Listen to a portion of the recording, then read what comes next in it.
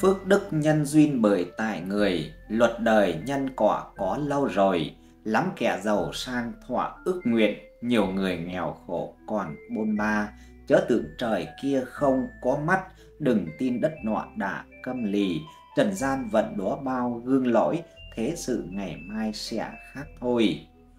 Quý cô bác, anh chị thân mến, Minh Đường Tử Vi thật là vui khi được gặp lại các bác, anh chị trong chuyên mục Tử Vi 12 con giáp mới nhất ngày hôm nay. là đầu tiên, thay mặt cho 30 tập chương trình, những người làm chương trình, Minh Đường Tử Vi xin được gửi lời chào, lời chúc tới quý bác, anh chị sức khỏe, hạnh phúc, bình an, được thần tài ban lộc, tiền bạc ùn ùn kéo về nhà, làm ăn đắc thắng, trăm tỷ cầm tay, giàu có đến già. Và nếu như quý cô bác, anh chị là lần đầu tiên đến với kênh Minh Đường Tử Vi thì hãy hoan hỷ đăng ký kênh, ấn chuông ở phía bên dưới để được đón xem những video mới nhất mà 30 tập trình Minh Đường Tử Vi đăng tải cũng như là thấy nội dung video hay, hữu ích thì hãy like, chia sẻ video cho mọi người cùng xem. Quý cô bác, anh chị cũng đừng quên để lại ý kiến đóng góp ở phía bên dưới phần bình luận kênh Minh Đường Tử Vi chân thành cảm ơn quý cô bác, anh chị. Nội dung video ngày hôm nay mà 30 tấm trình Minh Đường Tử Vi đăng tải xin chia sẻ tới quý bác, anh chị đó chính là nội dung như sau. Báo Lộc, tiên tri tiết lộ sự thật chấn động, ba điều cần chú ý, biết trước ắt làm ăn hưng thịnh, phát tài phát lộc, hạnh phúc đến bất ngờ trong 9 ngày tới, tuổi nhâm tuất sinh năm 1982, số mệnh phú quý, tiền bạc bùa vây, giàu có đến già, nhầm thất thất bại chẳng biết nản đâu, phát lên cuộc sống thêm ngầu, thất thần ngồi ngắm thêm sầu thêm thương, đôi vai gồng gánh yêu thương, từng bước trên đường hướng tới thành công. Kính chào quý khán giả, cùng quý anh chị Nhâm Tuất đang theo dõi video trên kênh Minh Đường Tử Vi ngày hôm nay. Kênh Minh Đường Tử Vi kính chúc quý khán giả nhận được thật nhiều phước lành, sống đời bình an, hạnh phúc viên mãn. Quý anh chị Nhâm Thất thân mến, liệu phiền phức có thực sự đáng ghét khi con cháu không làm phiền là lúc chúng đã trưởng thành, rời xa vòng tay cha mẹ, lúc cha mẹ không làm phiền nhâm tuất nữa, rất có thể họ đã không còn trên cõi đời này. Nếu người yêu không làm phiền nhâm tuất nữa, chắc hẳn họ đã có người khác để phiền. Bạn bè cần, nhưng không phiền nhâm tuất nữa, phần nhiều đã có sự ngăn cách nào đó không thể vượt qua. Thật ra trên đời, con người luôn cần có nhau để giải quyết rất nhiều vấn đề, nhờ những lúc qua lại giúp đỡ đó mà hóa giải bao muộn phiền, nảy sinh tình cảm, có những trải nghiệm thú vị hiểu biết thêm nhiều tri thức mới, đây chính là cuộc sống. Vì thế hãy trân quý những người đang làm phiền nhâm tuất và hãy cảm thấy biết ơn họ, vì nhờ có họ mà cuộc sống của nhâm tuất được thêm nếm thật nhiều gia vị và nhiều cung bậc cảm xúc khác nhau, cùng những trải nghiệm nhiệm màu. Tôi hiểu rằng nhâm tuất đang phải đối mặt với rất nhiều thử thách, trông gai của cuộc sống khắc nghiệt ngoài kia. Nhưng dù thế nào đi chăng nữa, nhâm tuất hãy cứ lạc quan lên một chút, cười nhiều hơn nhâm tuất nhé. Không ai có thể can thiệp vào quá khứ của nhâm tuất, nhưng có lẽ tương lai thì có thể. Kênh Minh Đường Tử Vi luôn ở đây để giúp đỡ và lắng nghe những câu chuyện của quý bạn. Quý khán giả hãy đăng ký kênh và bình luận bên dưới video để gửi đến đội ngũ biên tập một chút động lực, giúp đời giúp người quý khán giả nhé. Kênh Minh Đường Tử Vi xin chân thành cảm ơn. Ngay sau đây, kênh Minh Đường Tử Vi sẽ đi vào nội dung chi tiết. Xin mời quý khán giả cùng lắng nghe. Quý anh chị tuổi nhâm tuất thân mến, theo luận giải mới nhất từ các bậc thầy huyền học, chiêm tinh học và tử vi học nhân quả luân hồi thấy rằng khi bản mệnh nhâm tuất bước sang năm 43 tuổi âm lịch, đây là năm giúp bản mệnh nhâm tuất tu sửa bản thân, nỗ lực hơn người để gặt hái những thành quả xứng đáng mà trước đây nhâm tuất đã bỏ nhiều công sức để gây dựng. Bước sang năm 43 tuổi âm lịch này, có cả hung lẫn cát, nhưng hung hay cát ở đây còn phải phụ thuộc vào nhâm tuất tận dụng những lời dự ngôn và luận giải của tử vi như thế nào. Trước tiên, ta hãy cùng điểm nhanh qua tính cách người tuổi nhâm tuất sinh năm 1982 có điểm gì nổi bật ngay sau đây.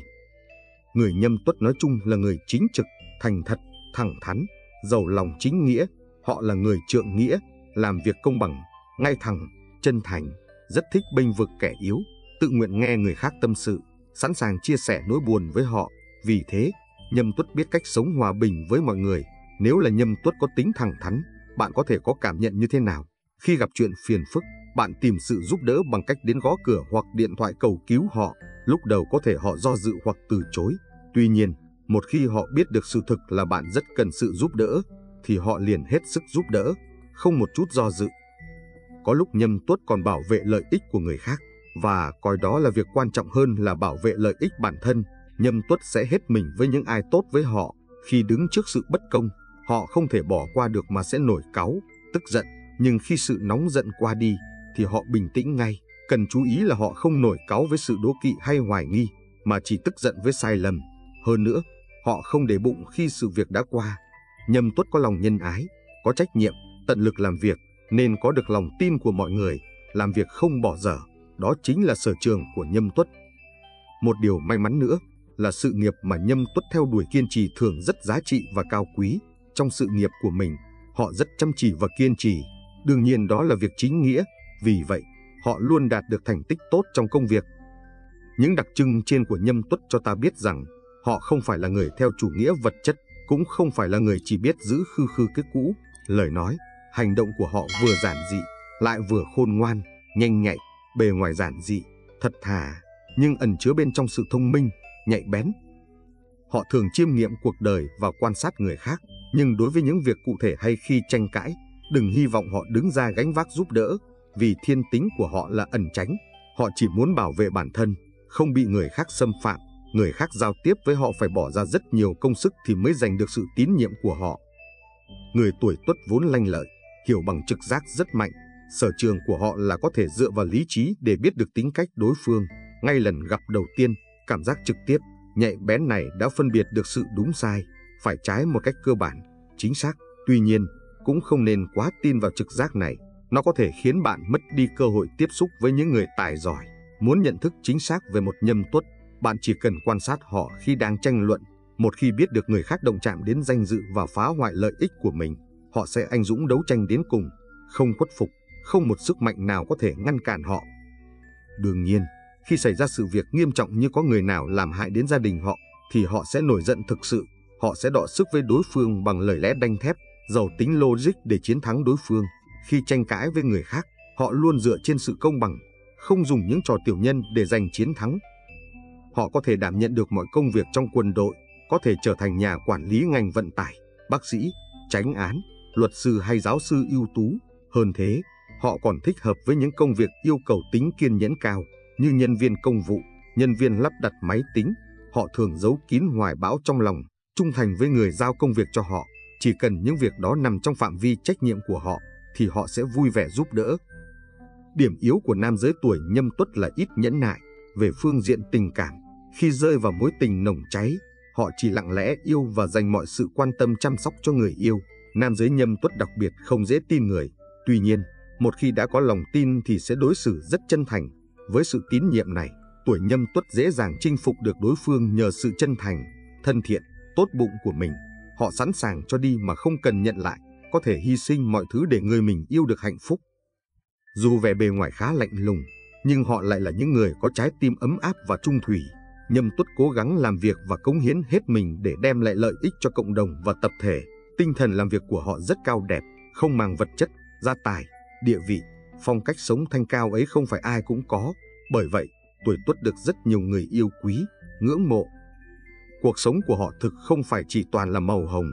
Họ phải trải qua nhiều khó khăn, thử thách, thậm chí là nguy hiểm. Tuổi nhâm tuất cả đời lương thiện, luôn nghĩ đến lợi ích của người khác. Vì thế, họ gặp được nhiều may mắn cả về công danh, sự nghiệp lẫn sức khỏe. Nam mệnh tuổi nhâm tuất nổi tiếng thông minh, sắc sảo, có khả năng xử lý những tình huống khẩn cấp, bất ngờ. Họ phân biệt được rõ đúng sai, biết điều gì nên làm và điều gì không nên làm. Những ước mơ và hoài bão luôn tồn tại trong con người của họ như một ngọn lửa âm ỉ. Chỉ cần tìm thấy cơ hội thuận lợi, ngọn lửa ấy sẽ bùng cháy mãnh liệt. Nữ mệnh tuổi nhâm tuất là những người nhanh nhẹn, hoạt bát và năng động. Họ thích tham gia những hoạt động tập thể, trở thành những tình nguyện viên, giúp đỡ những người gặp khó khăn. Cô nàng này rất coi trọng vẻ bề ngoài. Bạn sẽ không bao giờ thấy họ ra khỏi nhà trong bộ dạng luộm thuộm, xấu xí. Họ là những người giỏi giao tiếp. Vì vậy, phụ nữ tuổi tuất có nhiều bạn bè yêu quý và tin tưởng. Sau đây, Xin mời quý khán giả cùng lắng nghe luận giải tổng quan tử vi 9 ngày tới của tuổi Nhâm Tuất sinh năm 1982. Luận giải tử vi cho tuổi Nhâm Tuất thấy rằng 9 ngày tới đây sẽ mang đến một bức tranh sáng sủa và đầy màu sắc của sự may mắn và tiến triển. Thời gian này, những người tuổi nhâm tuất sẽ cảm nhận được sự thuận lợi từ các phương diện của cuộc sống, từ công việc cho đến các mối quan hệ xã hội. Về mặt tài chính, dù không có những bất ngờ lớn về mặt thu nhập, nhưng nhâm tuất sẽ thấy sự ổn định và dòng tiền liên tục chảy vào túi mình. Điều này giúp nhâm tuất có thể chi tiêu một cách thoải mái mà không cần lo lắng quá nhiều.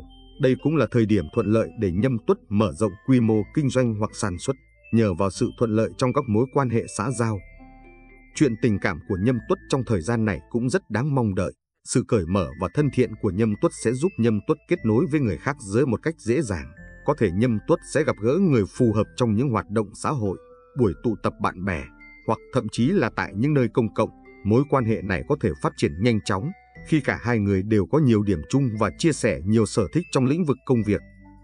Và trong 9 ngày tới này là thời điểm để nhâm tuất tỏa sáng và thể hiện khả năng của mình. Mọi nỗ lực và cố gắng không ngừng nghỉ sẽ được đền đáp xứng đáng, khiến nhâm tuất cảm thấy hài lòng và tự hào về những gì mình đã đạt được. Nguyệt lệnh lâm dưỡng là một yếu tố quan trọng trong tử vi cho thấy nhâm tuất sẽ duy trì được tinh thần làm việc hăng hái và tích cực. Đây cũng là thời điểm tốt để nhâm tuất đối mặt và vượt qua những thách thức, học hỏi thêm kiến thức mới và nâng cao kỹ năng của mình. Nhìn chung, 9 ngày tới hứa hẹn sẽ là một khoảng thời gian đầy ắp niềm vui và thành công cho những người tuổi nhâm tuất. Hãy tận hưởng mỗi khoảnh khắc và nắm bắt mọi cơ hội mà 9 ngày tới này mang lại. Chúc nhâm tuất một thời gian này tràn đầy năng lượng và hạnh phúc.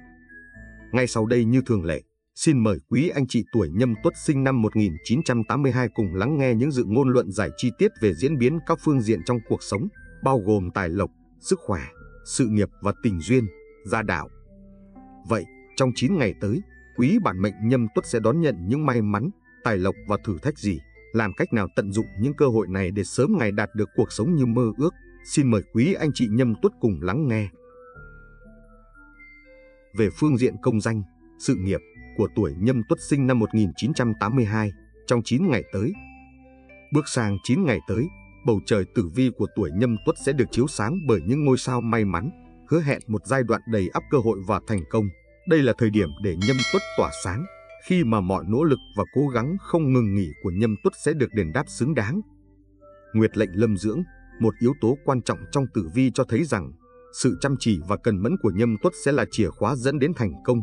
Không chỉ là người được tin tưởng với những nhiệm vụ được giao, nhâm tuất còn là nguồn cảm hứng cho những người xung quanh, bởi tinh thần làm việc không biết mệt mỏi và quyết tâm hoàn thành mọi công việc ở mức cao nhất. Sự khiêm tốn và khao khát học hỏi của nhâm tuất sẽ mở ra những cánh cửa mới. Nhâm tuất không chỉ sẵn lòng thừa nhận những điểm yếu của mình, mà còn không ngần ngại tìm kiếm sự giúp đỡ và học hỏi từ người khác. Điều này làm tăng khả năng thích nghi và phát triển bản thân, Thời gian này, Nhâm Tuất sẽ có cơ hội tham gia vào các buổi họp mặt, hội thảo và các khóa đào tạo, nơi Nhâm Tuất có thể hấp thụ thêm nhiều kiến thức và kỹ năng mới. Hãy tận dụng tối đa những cơ hội này, bởi chúng không chỉ giúp Nhâm Tuất phát triển sự nghiệp, mà còn mở rộng mạng lưới quan hệ chuyên nghiệp của Nhâm Tuất. Cát tinh tử vi, ngôi sao của sự tự tin và khả năng nắm bắt cơ hội, sẽ đồng hành cùng Nhâm Tuất trong suốt thời gian này. Những người dám thể hiện quan điểm và cá tính của mình sẽ nhận được sự đánh giá cao từ cấp trên và đồng nghiệp. Đây cũng là thời điểm mà Nhâm Tuất có thể chạm tay vào những cơ hội thăng tiến, đánh dấu bước ngoặt quan trọng trong sự nghiệp. Hãy nhớ rằng, mỗi ngày Nhâm Tuất dành ra cho việc cải thiện bản thân và theo đuổi mục tiêu sẽ là một bước tiến vững chắc trên con đường sự nghiệp. Trong 9 ngày tới này, hãy mở lòng đón nhận những điều tốt đẹp đang đến với Nhâm Tuất và nhớ rằng bầu trời tử vi luôn ủng hộ những ai không ngừng nỗ lực và phấn đấu chúc nhâm tuất luôn đầy ắp niềm vui và thành công. Đầu tiên, về phương diện tài lộc của tuổi nhâm tuất sinh năm 1982 trong 9 ngày tới. Trong bối cảnh nền kinh tế hiện nay, việc nắm bắt và phát triển tài chính cá nhân không chỉ là một nhu cầu, mà còn là một nghệ thuật đối với những người tuổi nhâm tuất. Giai đoạn 9 ngày tới này đánh dấu những bước tiến vững chắc trên con đường tài lộc, không cần thiết phải theo đuổi sự giàu có một cách chóng vánh, bởi vì sự ổn định và bền vững mới là chìa khóa dẫn đến thành công lâu dài. Một quan điểm thực tế và kiên nhẫn sẽ giúp Nhâm Tuất xây dựng được một nguồn tài chính dồi dào, đảm bảo rằng Nhâm Tuất sẽ không bao giờ phải lo lắng về vấn đề tiền bạc. Đối với những người làm công ăn lương, đây là thời điểm để gặt hái những thành quả xứng đáng. Những nỗ lực và sự cống hiến không mệt mỏi sẽ được đền đáp xứng đáng thông qua các khoản thưởng hậu hĩnh và nếu Nhâm Tuất không ngại khám phá thêm các cơ hội làm thêm Nhâm Tuất sẽ thấy rằng công sức của mình không bao giờ vô ích. Với những người làm kinh doanh, mối quan hệ xã hội chính là tài sản quý giá việc xây dựng và duy trì một mạng lưới quan hệ rộng lớn sẽ mở ra cánh cửa cho những cơ hội kinh doanh mới, giúp Nhâm Tuất mở rộng quy mô và phát triển sản xuất.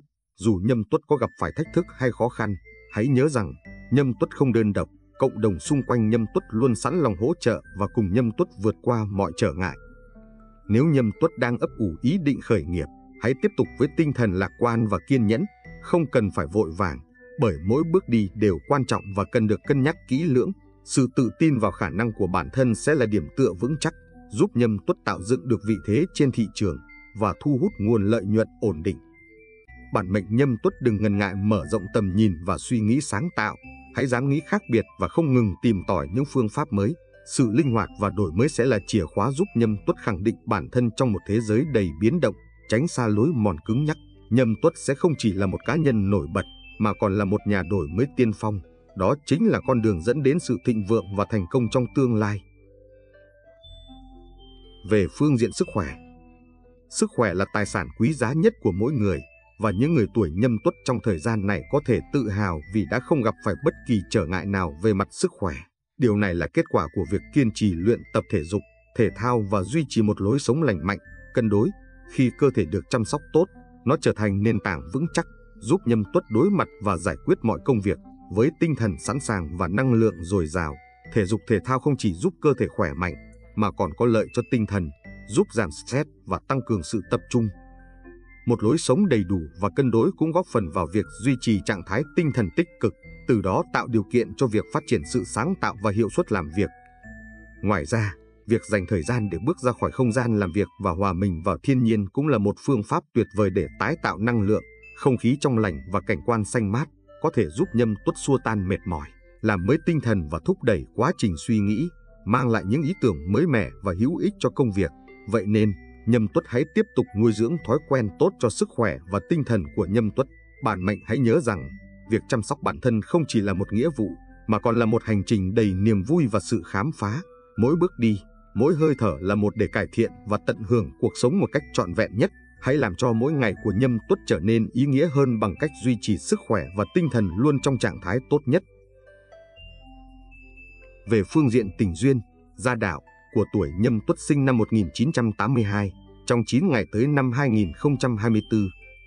Theo luận giải mới nhất, tử vi 9 ngày tới năm cho tuổi nhâm tuất thấy rằng bước sang thời gian này mang đến một thông điệp đầy hứa hẹn và tích cực, nhấn mạnh sự quan trọng của việc mở lòng và sẵn sàng cho những khởi đầu mới trên con đường tình cảm. Đối với những người tuổi nhâm tuất, đây là thời điểm để tỏa sáng và thu hút những năng lượng tích cực từ vũ trụ, đặc biệt là trong các mối quan hệ cá nhân, 9 ngày tới sẽ là những ngày đáng nhớ, khi nhâm tuất có cơ hội gặp gỡ và kết nối với những trái tim đồng điệu. Đối với những nhâm tuất độc thân, sức hút của nhâm tuất sẽ mạnh mẽ như bông đào đang nở rộ, thu hút sự chú ý và tình cảm của những người xung quanh. Đây có thể là thời điểm mà nhâm tuất sẽ gặp được một nửa thực sự của mình, người mà nhâm tuất có thể chia sẻ những cuộc trò chuyện sâu sắc và không bao giờ cảm thấy nhàm chán. Những buổi giao lưu, gặp gỡ bạn bè hay thậm chí là những sự kiện công cộng đều có thể trở thành nơi mà duyên phận bắt đầu. Một cái nhìn, một nụ cười hoặc một cuộc trò chuyện tình, cờ có thể mở ra một trang mới trong cuốn sách tình yêu của Nhâm Tuất. Đừng ngần ngại theo đuổi những cơ hội này và giữ vững mối quan hệ khi Nhâm Tuất đã tìm thấy ai đó. Đặc biệt đối với những Nhâm Tuất đã lập gia đình, 9 ngày tới cũng mang lại những niềm vui và sự ấm áp, sự thấu hiểu và hỗ trợ từ người thân sẽ là nguồn động viên lớn giúp Nhâm Tuất vượt qua mọi thách thức và đạt được những mục tiêu cá nhân mỗi thành công sẽ được chia sẻ và ăn mừng cùng với gia đình, tạo nên những kỷ niệm đẹp và sâu sắc. Các cặp đôi sẽ cùng nhau trưởng thành và phát triển một mối quan hệ bền vững với trách nhiệm và sự chăm sóc lẫn nhau.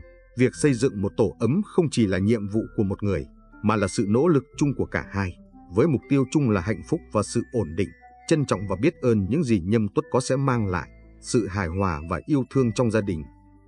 Như vậy, 9 ngày tới hứa hẹn sẽ là khoảng thời gian đầy màu sắc và cảm xúc cho tuổi nhâm tuất, với những cơ hội tuyệt vời để tăng cường các mối quan hệ và tạo dựng những kỷ niệm đáng nhớ. Hãy mở lòng và đón nhận những điều tốt đẹp đang đến với mình, và nhớ rằng mỗi ngày đều là một cơ hội để yêu thương và được yêu thương. Quý anh chị nhâm tuất thân mến, cuộc sống không có gì bằng sự bình yên và hạnh phúc. Bên trong thứ đắt giá nhất của cuộc đời này không phải là tiền bạc hay địa vị, mà là thời gian, sức khỏe gia đình, bạn bè và biết mãn nguyện với cuộc sống hiện tại. Thời gian là của cải quý giá nhất trong cuộc đời. Vì vậy hãy trân trọng thời gian, nắm bắt từng giây từng phút để sống hết mình, vì chúng ta chỉ có cuộc đời này. Sức khỏe là vốn quý nhất của đời người, sức khỏe tốt là nền tảng của mọi thứ, không có sức khỏe thì không thể làm gì, vậy nên đừng lười nhác, hãy tập thể dục khi đến giờ tập thể dục, đừng lười nhác liên tục đến những việc nguy hiểm cho sức khỏe, khiến cho cuộc sống trở thành một mớ hỗn độn. Một số người ăn uống, vui chơi cả ngày, cầm điện thoại di động, tiêu hao thân thể uổng phí chính mình, chờ đợi đến khi đã lớn tuổi và muốn làm điều gì đó, nhưng cơ thể không cho phép, khả năng hành động cũng không thể nữa, đến lúc đó sẽ là quá muộn. Gia đình là tài sản đắt giá nhất trong cuộc đời, cho dù là một thành công đến đâu, nếu về nhà và đối mặt với những bức tường lạnh lẽo cũng sẽ có niềm vui và hạnh phúc, là nơi trú ngụ của tâm hồn chúng ta. Nó chứa trong đó những người thân yêu nhất, có một gia đình, một đứa con, có anh ấy và cô ấy, cùng sống một cuộc sống một mặt giản dị, làm tất cả những gì có thể để mang lại hạnh phúc cho gia đình. Đó là thành công lớn nhất của cuộc đời người. Nụ cười là báu vật quý giá nhất trong đời. Hãy luôn nở nụ cười trên môi, để nỗi buồn bay theo gió. Đừng để mọi thứ trong lòng. Đối xử tử tế với bản thân, vì cuộc đời không dài mà rất ngắn. Chỉ bằng cách có những cảm xúc tốt, chúng ta mới có thể có một cuộc sống tốt. Nếu chúng ta có thể nghiêm khắc với chính mình, làm cho bản thân luôn mỉm cười, ném những rắc rối vào trong đó, có một tâm trạng tốt, mọi thứ sẽ trở nên đẹp đẽ hơn. Tình bạn là lời hứa đắt giá nhất trong đời. Dù có quen biết bao nhiêu người cũng không bằng một chi kỷ. Có được một bạn tâm giao chính là điều quý giá của đời người. Khi bạn cô đơn, có người ở bên, trái tim vững chắc. Khi bạn hoạn nạn có người an ủi đó là hạnh phúc. Khi khó khăn có người giúp một tay đó là mãn nguyện. Chúng ta có sức khỏe, có gia đình, có người yêu thương đồng hành, có con cái bình an, có bạn bè tốt. Đây là cuộc sống mãn nguyện, giàu có nhất. Quý vị thân mến, có rất nhiều nghề có thể làm ra tiền, thế nhưng quan trọng nhất là chọn việc tạo ra nhiều phúc đức thì tiền bạc đó mới trường tồn, mới có thể giúp bạn giàu có, sung sướng. Đức Phật đã khuyên chúng ta tránh xa những công việc như buôn bán vũ khí, buôn sắc gái, các chất gây say, bán thịt, bán thuốc độc, cũng là vì lẽ này. Trong cuộc đời này, ngu dại nhất là để đồng tiền điều khiển mình. Khi đó người tự hào là khôn ngoan nhất cũng sẽ biến thành kẻ ngốc. Thế nên dù làm việc gì cũng nên chọn lựa kỹ càng. Hãy lấy thương yêu chính là chất liệu, nền tảng của những việc lành thiện, tạo ra phước đức giúp chúng ta vượt qua mọi khó khăn. Hạt giống gây nghèo khó rất nhiều, bao gồm là việc thất tín, tham lam, ích kỷ, sai hẹn. Thế nên một người hay đi làm muộn, chiếm dụng thời gian của người khác, làm hàng giả, hàng nhái, kém chất lượng thì sẽ chẳng bao giờ giàu có bền vững, nếu có thì cũng chẳng giàu được lâu, thậm chí còn để lại hậu họa cho con cái về sau, bởi gieo nhân xấu sẽ tạo nghiệp, ắt đó là lẽ thường ở đời. Thế nên để phá vỡ hạt giống nghèo khó, bản thân phải tập trung vào con đường chân chính để tạo nghiệp thiện, những của cải tạo ra từ công việc trong sạch, chính đáng bằng mồ hôi nước mắt và sự nỗ lực tinh tấn của trí tuệ thì mới xứng đáng. Có như vậy bản thân chúng ta, người thân của chúng ta mới an lạc và tài sản có được mới bền lâu. Trí tuệ đóng vai trò cực kỳ quan trọng để chúng ta nhận diện ra đâu là tránh kiến, tránh tư duy, thế nên phải không ngừng học hỏi, không ngại sửa sai để có thể cải thiện hiểu biết hạn hẹp của bản thân. Chúng ta không cần cái gì cũng giỏi, cũng biết, nhưng đủ học hỏi để trang bị cho mình sự nhạy cảm với từng hoàn cảnh, nhờ thế mà kịp thời xử lý, ứng phó, làm hạn chế tối đa thiệt hại, bảo vệ tài sản an toàn tương đối trước các rủi ro vốn có trong chiến trường kinh tế. Việc mới làm một chút không thành đã nản chí, bỏ cuộc thì làm gì có thể đợi được tới ngày thành công mà hưởng vinh hoa, phú quý. Thế nên, làm gì cũng phải chăm chỉ, kiên nhẫn, làm đến cùng. Một người có tầm nhìn xa trông rộng sẽ không vì chút trở ngại trước mắt mà lùi bước. Thế nên Đức Phật luôn đề cao những ai chăm chỉ lao động, vì trí tuệ sinh ra từ đôi bàn tay làm lụng vất vả ấy. Thực tế người thành công và người thất bại chỉ khác nhau ở chỗ, họ làm nó đến cùng hay không mà thôi. Quý vị thân mến, trên đây là tử vi của tuổi nhâm tuất sinh năm 1982 trong 9 ngày tới. Hy vọng với những thông tin trên sẽ giúp ích cho quý khán giả. Cảm ơn quý khán giả đã xem hết video. Nếu thấy video hữu ích, quý khán giả đừng quên like, chia sẻ và ấn nút đăng ký kênh để cập nhật những video mới nhất từ chương trình. Chúc quý khán giả có một thời gian này luôn vui vẻ, hạnh phúc, bình an và gặp nhiều may mắn. Hẹn gặp lại quý khán giả ở những chương trình tiếp theo.